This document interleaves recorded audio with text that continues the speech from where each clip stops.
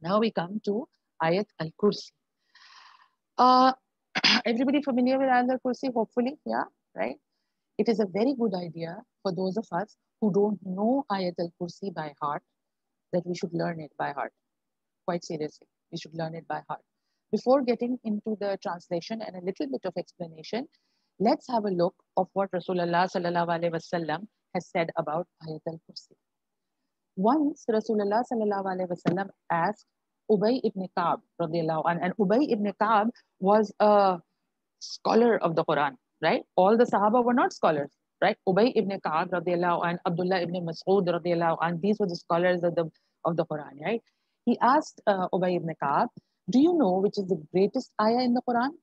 He replied, because out of modesty, and every time Rasulullah asked the Sahaba uh, a factual type of question, they were they didn't dare just you know out of awe of the Prophet, out of respect, out of modesty, all of that.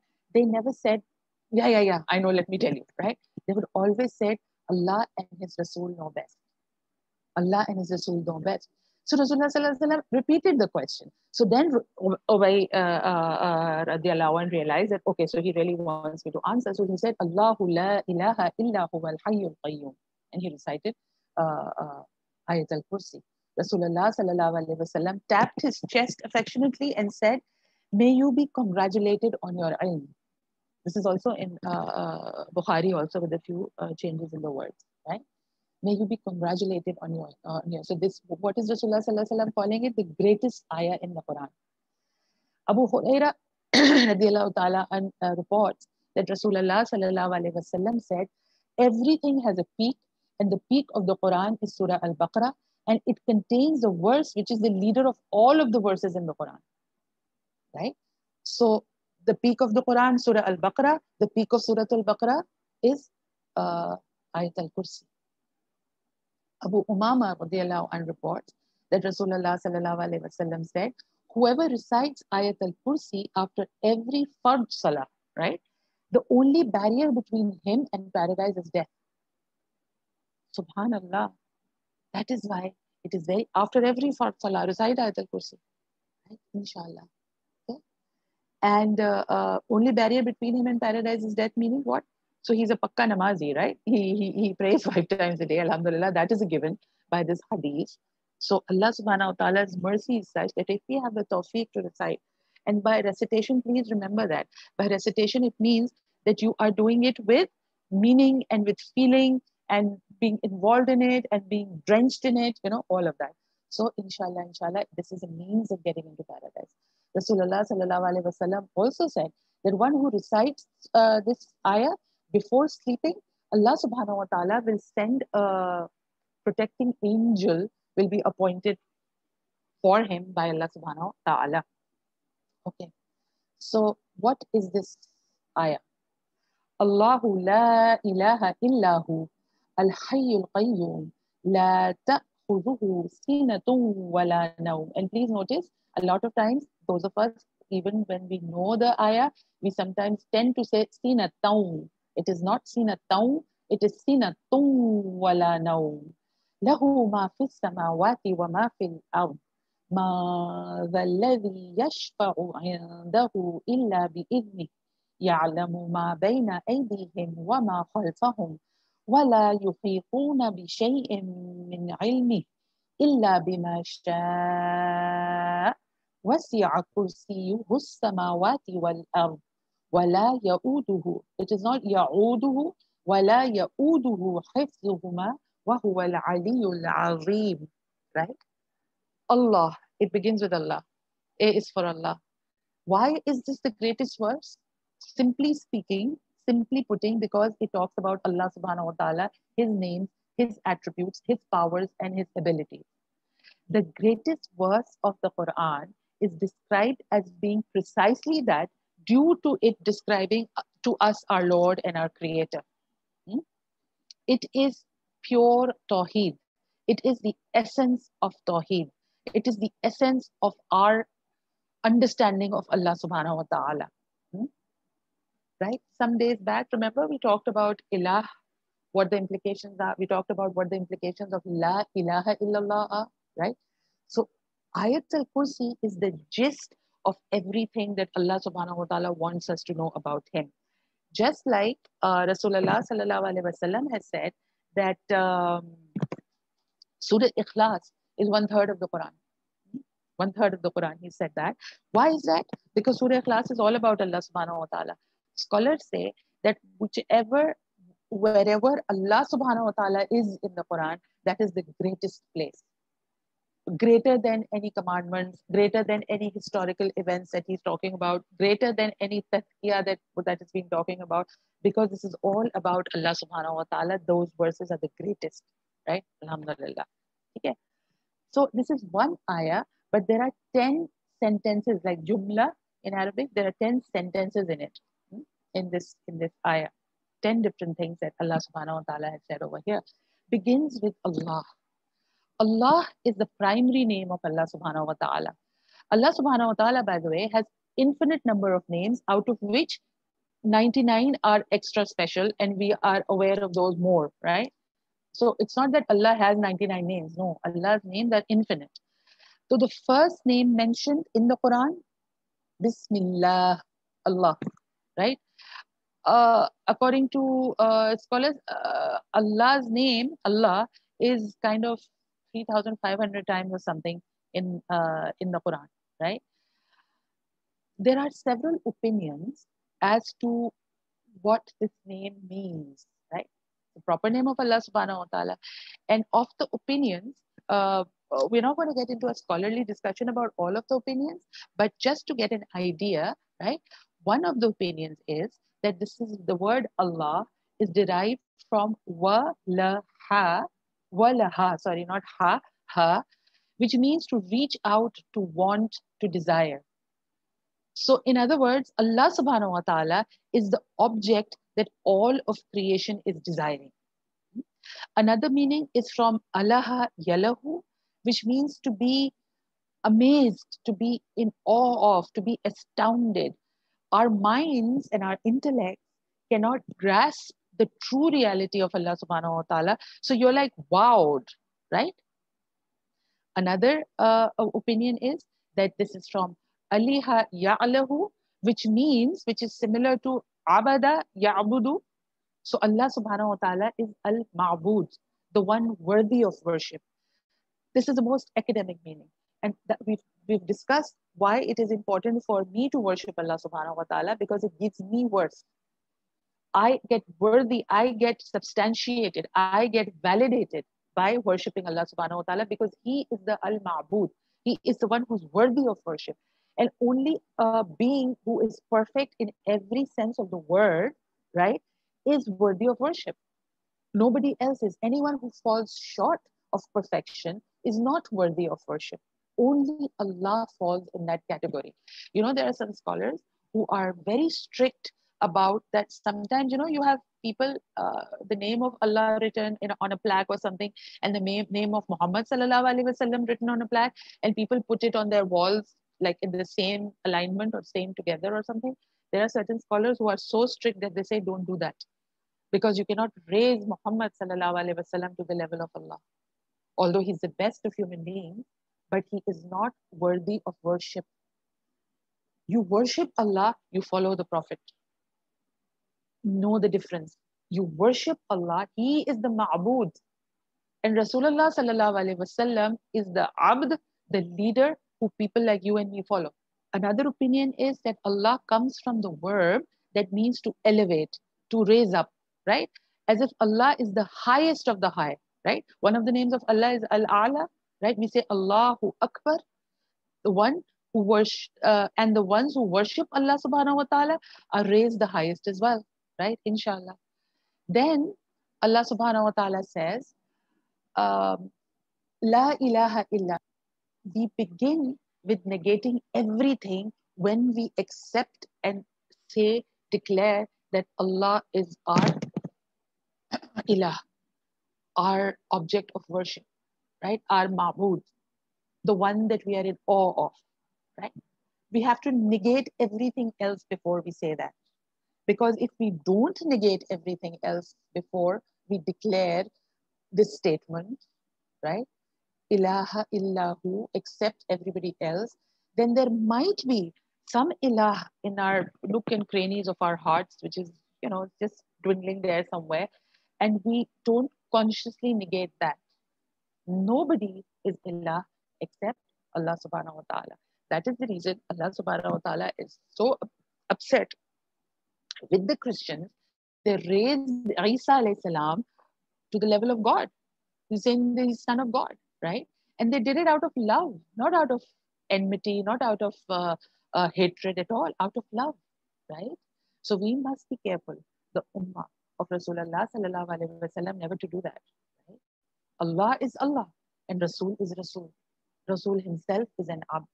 Al Hayyul Qayyum. These are amazing, amazing names of Allah subhanahu wa ta'ala, right? These are amazing names of Allah subhanahu wa ta'ala. Uh, scholars tell us that these are very powerful names of Allah subhanahu wa ta'ala and we should use them to make dua. Al Hayyul Qayyum, right? Ya Hayyu Ya Qayyum bi rahmatika astaghith, right? I am in need of your rahmah. The living and the Qayyum, the one who sustains, the all, the one who has perfect hayat, right? Who has a perfect life, and he is the one who gives life, right? He he's he is the one who is the source of life, right? And Al Qayyum uh, simply would be he takes care of everything else, right? He has established himself, like we say Qiyam, right? He has established himself and he takes care of everything else. Is done by Al Qayyum. Um, these uh, names, Al Hayyu, Al Qayyum, are included in the Ism Azam, like the greatest names of Allah subhanahu wa ta'ala. Right? Okay. Then Allah subhanahu wa ta'ala says, because He is Al Hayy, La ta'khuduhu sinatun wala nawm. So because He is Al Hayy, right? We all need any life, right? Whether it's a human life, it's the life of any creation, right? They need certain things for sustenance. For example, dozing and sleeping. Nobody can do without sleeping. We all need that sleep. We would be absolute, we would be sick and ill and uh, absolute all over the place if we didn't get to sleep or doze. Because Al Hayy is the perfect, has the perfect hayat and the perfect life, right? He has no need like the need of the creation. And to him, lahu, ma fis samawati wa ma fil ard. And this includes just about everything you can think of and everything that we don't even know about. Every other thing, everything belongs to him. Hmm? Everything belongs to him. Uh, you can think of what can we think of which is between which, which is in the heavens and in the earth there are so many things in the heaven and in the earth that even man with all his technology today has not even discovered. Yeah? And allah subhanahu wa ta'ala already owns it. He is the owner. So allah is establishing his perfectness right? There is no god but he there's no there's nothing that you can compare him with right? He's the only ilah. He is perfect in his hayat right? And he is perfectly looking after everything taking care of everything which is between the heavens and the earth, which he has created basically, and he is the master of them. They belong to him, right? And then he says, right? It is a rhetorical question. So who can possibly intercede, right? Who can possibly do shafa, right? The, the, the, come again. Who can possibly send a little parchi for, for somebody's, in somebody's favor without his permission. And you know, shafa is actually the least form of power. You go to the owner and put in a request. Yeah. You go to the boss and put in a request that, you know, my cousin, he's just, you know, graduated. So if you can possibly, uh, you know, uh, uh, consider him for this job or whatever, except if Allah allows it. Like human beings, we think of ourselves as being so all powerful, right? Of having so much uh, position and uh, and respect and uh, influence right? These days uh, who are who are most famous? Influencers right? Influencers. That's a joke really. If you compare it to allah subhanahu wa ta'ala's power and might you are an influencer for five seconds on tiktok and you think the world of yourself? Who is the greatest influencer? You have no influence. You have no shafa right shafa, the, the, least amount of power that you think that you have, that I can influence people in buying stuff and having a certain lifestyle and wanting this. Yeah, that's what an influencers do, right? These are all fake influencers. When you look at the influencer, that is what Allah subhanahu wa ta'ala is telling us over here. There is no shafa, there is no influence, not the least amount of power, unless Allah subhanahu wa ta'ala allows it. Hmm? Illa bi Without Allah subhanahu wa ta'ala's izn, without Allah subhanahu wa ta'ala's permission, you can't be even a fake influencer, right? So beware of what you are influencing and whom you are influencing towards what, right? So he knows what is before them and what is behind them. Hmm? One clear meaning over here that of course Allah subhanahu wa ta'ala knows our reality, but also Allah subhanahu wa ta'ala knows what will happen in the future. And Allah subhanahu wa ta'ala knows what we have done in the past, right? Allah is the only one who actually knows what we are up to or what we have been up to, right? Imagine sleeping right next to Janu. Hmm? You two may be very close to each other. Sometimes we say, I know my children so well. Zilch, nada, yeah, halas, nothing. We probably know very little about our children. What is going on in those head, on that head? What is going on in that heart? Only Allah subhanahu wa ta'ala knows, right? Mothers are very proud to say that I know my child. You don't know nothing about your child or from for, for or about anybody else, right? We don't know. We really don't know. It is only Allah subhanahu wa ta'ala. And Allah subhanahu wa ta'ala is saying He knows what is before them and what's behind them, while they encompass nothing of His knowledge. Wala yuhituna.